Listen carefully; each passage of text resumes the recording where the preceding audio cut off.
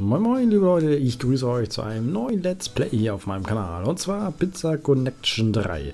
Ja, einige werden wahrscheinlich denken, oh nein, noch ein Let's Play auf dem Kanal, ob das gut geht. Ja, ich werde natürlich selber mal schauen, wie lange dieses hier geht, ich weiß es noch nicht, aber für mich ist Pizza Connection so ein kleines Must-Have. Auch wenn die ersten Bewertungen auf Steam jetzt nicht unbedingt gerade so verheißungsvoll klingen. Ich kann mir gut vorstellen, dass da so das eine oder andere wahr ist. Werden wir aber natürlich im Laufe der Zeit drauf eingehen für mich Pizza Connection sein muss, weil ja, ich bin mit tatsächlich mit Teil 1 noch groß geworden.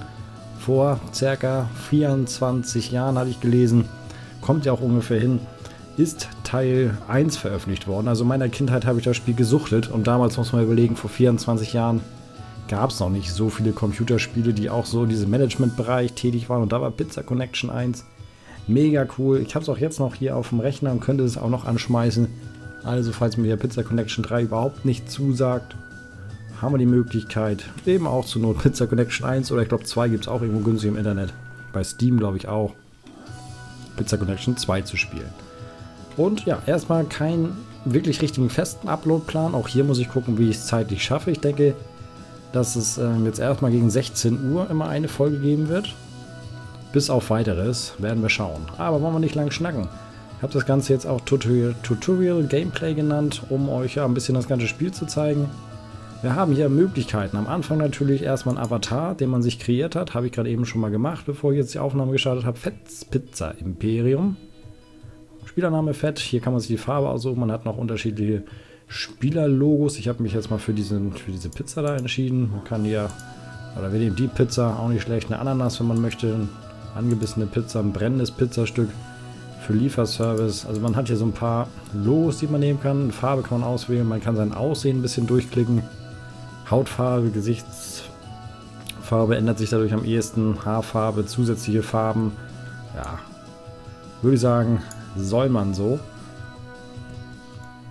So richtig viele Möglichkeiten gibt es da noch nicht, aber ich denke, das reicht. Man hat am Anfang die Auswahl zwischen Kampagne und freiem Spiel so ganz grundsätzlich. Kampagne sind so ein paar vorgefertigte Szenarien. Also man muss sich das muss dann durchspielen, hat gewisse Aufgaben zu erfüllen und kommt dann eben Level für Level weiter.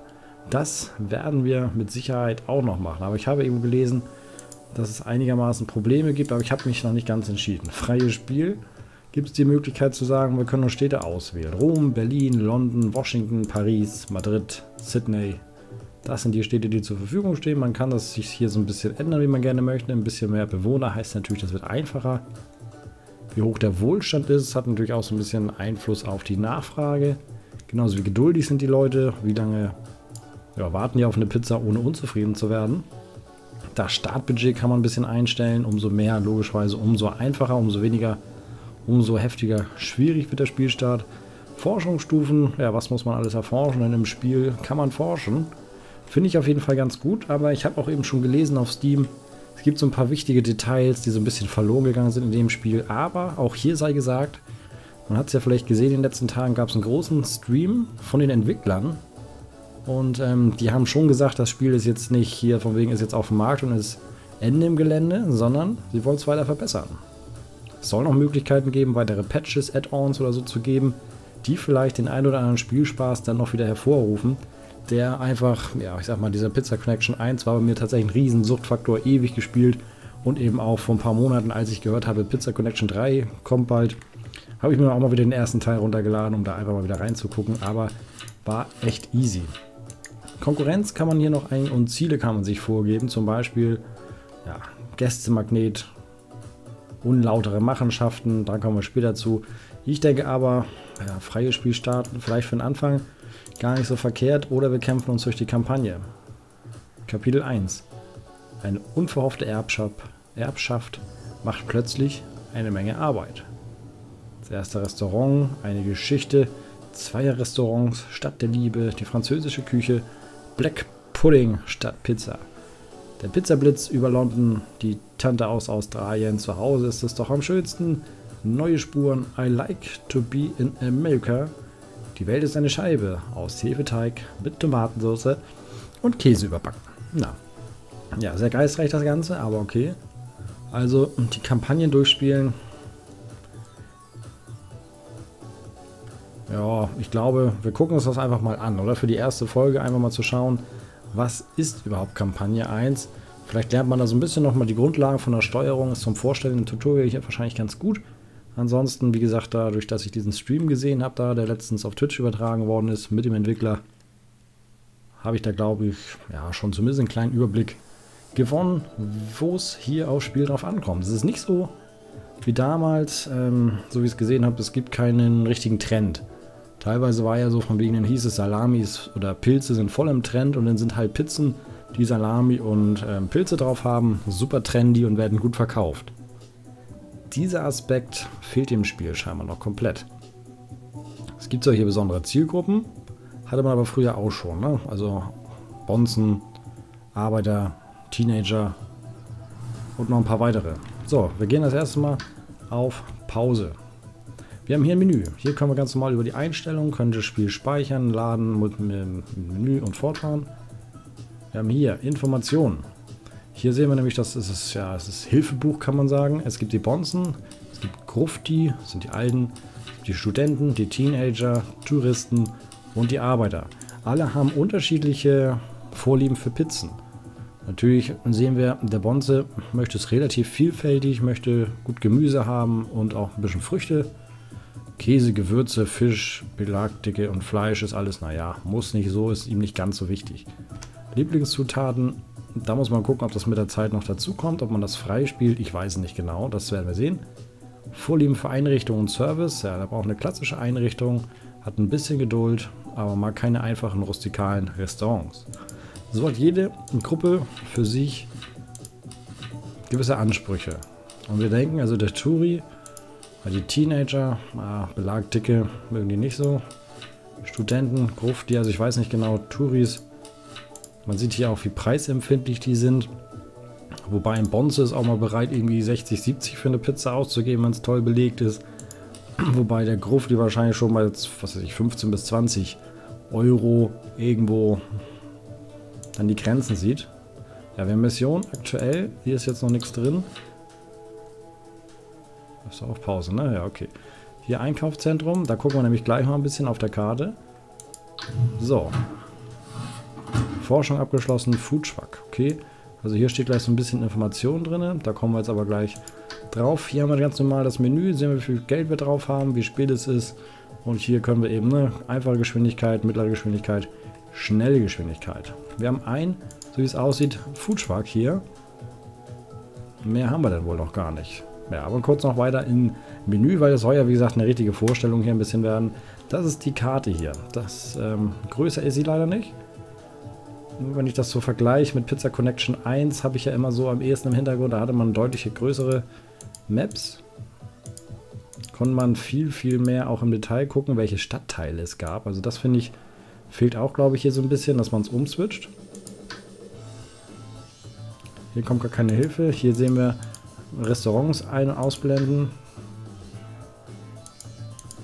Hier können wir, was ist das? Können wir schon mal gucken. Achso, das werden hier die Lager sein. Ein Warenhaus können wir hier mit ein- und ausblenden, weil ein Warenhaus ist natürlich nachher für die Lieferung von Waren ganz hilfreich. Die Litfaßsäulen, wo wir Werbung machen, mitmachen können. Sieht so aus wie ein Leuchtturm hier. Und ja gut, das haben wir noch nicht. Das sind hier die Bösewichte. Da haben wir ja noch keine von. Wir sehen hier auf der Karte grünen Bereich. Das ist unser Foodtruck. Der steht hier scheinbar am Park. Park. Kann ich nicht anklicken, aber ich sehe hier zum Beispiel das Hotel.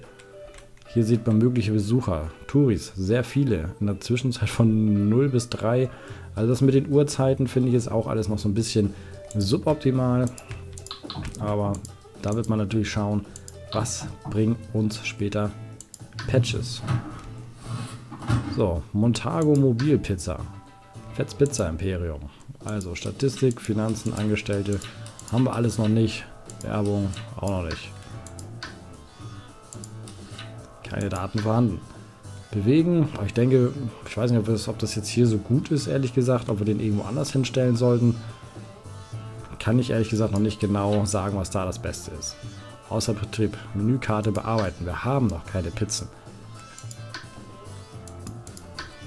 Man könnte jetzt aber auf der Karte ein bisschen rumsuchen und sagen, okay, hier haben wir ein Studi äh, Stadion, da sind super viele Studenten und auch viele Arbeiter, immer so zwischen 18 und 24 Uhr. Wenn wir jetzt den zum Beispiel bewegen, zeigt er mir ja, hier einen Punkt an. Wahrscheinlich, weil es ein Tutorial ist, kann ich es jetzt auch nur hier hinstellen. Ja, er switcht immer wieder hin. Ich kann ihn hier hin bewegen. Ah ne, ich kann hier durchklicken. Also ne, haben wir hier die Möglichkeit zu schauen. Es gibt nur so ein paar feste Punkte. Ich kann ihn jetzt nicht einfach irgendwo auf die Straße stellen. Wir können ihn hier am Kino hinstellen. Wir können ihn hier hinstellen. Das ist irgendwie, weiß ich nicht, was das genau für ein Gebäude ist. Da haben wir mal durchgängig von allen möglichen Zielgruppen welche. Hier ist jetzt auch nicht so cool. Hier würde ich ihn jetzt auch nicht hinstellen wollen. Vielleicht war es gerade eben schon... Oh, hier ist, ne, ist von allen immer so ein bisschen. Das ist mitten irgendwie im Wohngebiet. Dann sind wir hier wieder. Ja, dann sind wir hier wieder. Also bleiben wir doch am Kino.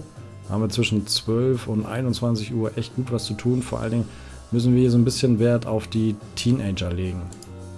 Wir stellen jetzt einfach erstmal hier hin. So, wir können die Karte drehen, ganz normal mittlere Maustaste gedrückt halten und so ein bisschen hin und her schwenken. Hier haben wir auch noch, wir können auch unsere Reichweite erweitern. Wir gucken natürlich jetzt hier nochmal, ob wir irgendwie Nachrichten lesen können.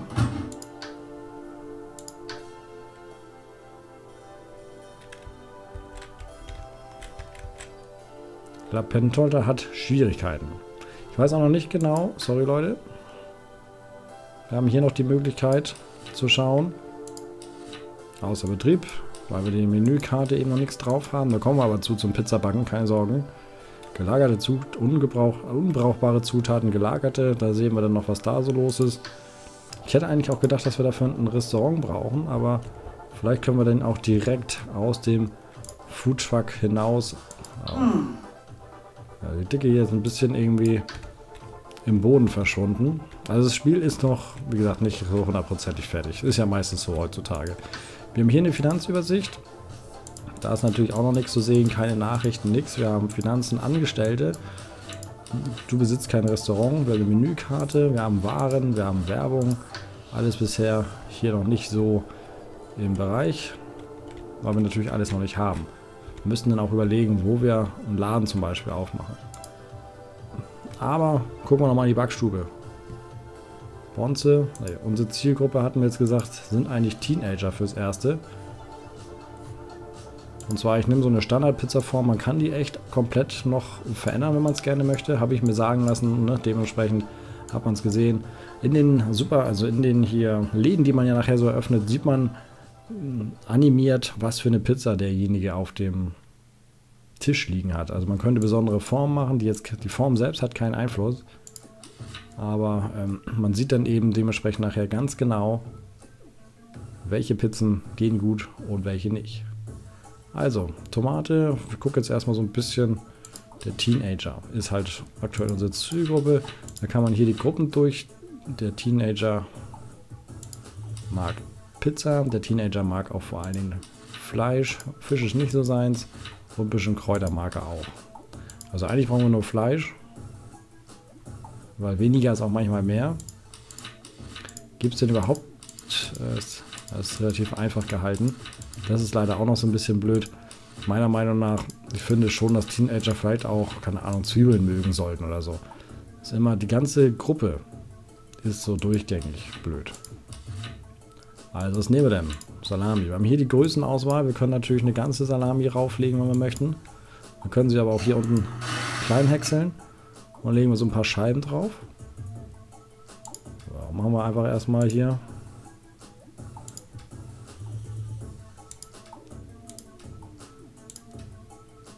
So, die Belagmenge ist okay. Ich mag die Zutaten auf dieser Pizza. Ich kann mir diese Pizza leisten. Die Pizza hat die perfekte Belagmenge sagt er schon. Und ich finde, das ist eigentlich fast ein bisschen wenig. So, noch ein bisschen kleiner gehäckselt. Komm, also ich bin auch eher so der Freund von diesem klein gehäckselten Salamis. Wenn ich mir eine Pizza selbst belege, ähm, ist das meistens so. So, wir sehen jetzt 135 Gramm sind da drauf an Fleisch. Dann würde ich jetzt einfach nur noch ein bisschen ähm, Oregano, was ist denn, was kostet Ingwer, Petersilie, ja, Curry, Knoblauch. Knoblauch ist recht günstig. Ja, schon klein gehäckselt, ne? Guck mal, dann kommt hier jetzt noch so ein bisschen Knobi. Für den Geschmack. Hier noch ein und da noch eine. Soll ja auch ein bisschen gut aussehen, das Ganze. Ähm, Oregano ist echt teuer. Das, ähm, mal gucken, wie das noch so passt. Ich weiß nicht, wie gesagt, das muss man vom Verhältnis her noch mal ein bisschen schauen. So, haben wir das. Ähm, Käse wollten die ganz gerne auch haben. Die Teenager brauchen auch ein bisschen Käse. Mm, Mozzarella. Ricotta ist ganz schön teuer. Ist aber dann auch eher anspruchsvoll wahrscheinlich. Das brauchen wir nicht zwingend. Gouda. Also ich mache das ganz gerne, wenn es ein bisschen gemischt ist. Ein bisschen Gouda. Und ein bisschen Mozzarella.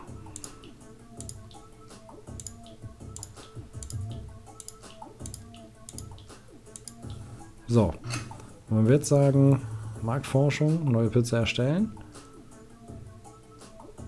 Können hier jetzt eben noch mal schauen, wie viel haben wir drauf. Einkaufspreis ist 5,07 Euro, kostet uns die Rohzutat.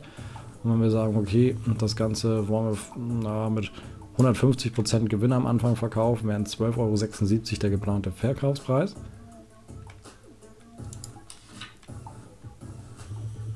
Und hier können wir speichern, wenn wir sagen, wir wollen das nachher zum Beispiel auch irgendwie wieder aufrufen können, haben wir hier die Möglichkeit eben das Ganze im Rezeptbuch zu speichern.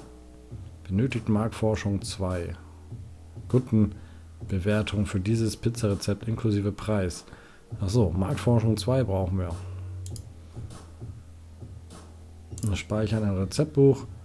Okay, Errungenschaft freigeschaltet. Ein Herz für Hipster. Errungenschaft freigeschaltet. Die erste Pizza. Also, das ist unsere erste Pizza. Wie gesagt, hier haben wir immer so ein Handy. Das muss, kann man natürlich da lassen, muss man nicht da lassen. Und das dürfte ja, erstmal so fürs erste reichen. Die Pizza ist noch nicht so das Highlight, meine ich, meiner Meinung nach. Aber dürfte reichen. Unser Foodtruck. Wo ist denn überhaupt jetzt nochmal hier der Kino? Wo ist das Kino? Großes Kino, hier ist das große Kino. So. Backstube. Oh ne, will ich jetzt noch eine machen? Erstmal nein. Abbrechen. Backstube verlassen. So, Foodtruck. Menükarte. Pizza. Ach, die hat gar keinen Namen gekriegt. Das war ein bisschen blöd. Kann ich die nachher rein? Kann ich sie noch ändern? Teen Spezial. Teen Spezial Salami. Ist ja mit Salami. Teen Spezial Salami. Fortfahren. So. Fetz Pizza. Speichern. Passt schon. Teen Spezial Salami. Okay. Passt schon. So. Backstube erstmal schließen. Ähm, haben wir sie jetzt in die Menükarte reingezogen. Genau. Man zieht es dann einfach von links nach rechts. Man kann maximal, sieht man, 10 Pizzen auf eine Menükarte packen. Liefere Priorität voll hoch fünf verschiedene Zutaten. Das Problem ist, umso mehr Zutaten, umso ähm, heftiger muss man nachher sich Waren liefern lassen. Waren liefern machen wir halt über Menüplan. Man sieht, also wir brauchen, wir brauchen Fachpersonal. Mitarbeiter können wir einstellen, gibt noch keine. Du besitzt kein Restaurant. Also müssen wir dann doch erst eben ein Restaurant anmieten, damit wir da dann Mitarbeiter einstellen können, weil hier sehen wir eben, können wir noch nichts. Zufriedenheit benötigt Marktforschung 1. Waren, ähm, zeigen wir nochmal Forschung. Hier nochmal gucken, La Pentola, okay, Finanzen, Statistik, Pizza Imperium, alles in Ordnung, keine Daten. Hier komme ich so auch nicht wirklich hier haben wir natürlich noch die Werbung. Aber ich komme hier jetzt nicht richtig in das Menü rein. Kann aber auch sein, weil es ja nun mal unbrauchbare Zutaten entfernen, Lager verwalten. Ja, geht nicht. Wir müssen also tatsächlich mal schauen, dass wir uns noch ein Restaurant irgendwo anmieten. Vielleicht irgendwo in der Nähe, vielleicht nicht zu weit weg. Was ist das denn hier eigentlich für ein Tempel? Eine Oper ist in der Nähe. Guck mal, da haben wir aber auch alles Mögliche. Wir haben aber ganz, ganz wenig Teenager in dieser Region. Weil da wir sowieso schon so ein bisschen auf die Teenager ausgerichtet sind, sollten wir vielleicht auch da mal schauen. Vielleicht gibt es irgendwo eine Schule oder irgendwas, wo viele Teenager in der Nähe sind. Da sehen wir ja in dem, wenn wir die Restaurants anklicken.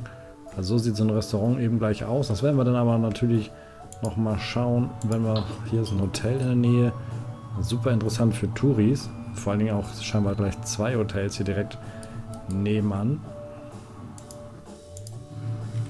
Hier ist ein Stadion.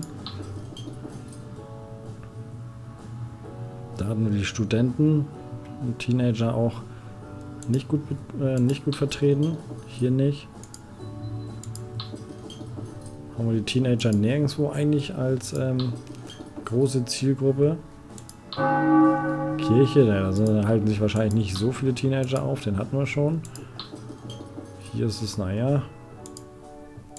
Was haben wir hier noch? Hier sind wir ziemlich am Ende. Super viele Touris. Hohe Zielgruppen für Touris. Zwei Geschäfte auch direkt nebeneinander. Ja, hier haben wir so ein bisschen mehr im Einkaufszentrum halten sich die Teenies auf. Mögliche Besucher 6, fast aber auch die ganze Zeit, ne? außer irgendwie zwischen 6 und 12 oder so, da sind sie in der Schule. Da wird wahrscheinlich relativ wenig hier los sein. Ja, und so guckt man halt erstmal rum, was für Restaurants gibt es überhaupt, für welche Zielgruppe will man sich entscheiden. Ich glaube, mit unseren Teens haben wir jetzt uns gar nicht mal unbedingt so den Gefallen getan. Meinetwegen für diesen Foodtruck in Ordnung, aber ich denke, dass wir uns ansonsten irgendwo anders nochmal ein bisschen spezialisieren sollten. Hier ist irgendwie ein Marktplatz. Hier ist eine bunte Mischung, kann man sagen. Teenager, Tourist, ja, von allen. Ist ein bisschen was da zumindest. Typ klein, kosten 381. Aber auch das können wir alles noch gar nicht pachten. Ja, da muss ich auf jeden Fall mal schauen, dass wir in der nächsten Folge da ein bisschen vorankommen. Für die erste Pizza Connection Folge war es das. Ich danke euch fürs Zuschauen. Wenn es euch gefallen hat, natürlich gerne ein Like da lassen und dann freue ich mich auch, wenn ihr beim nächsten Mal wieder reinschaltet. Bis dann und tschüss.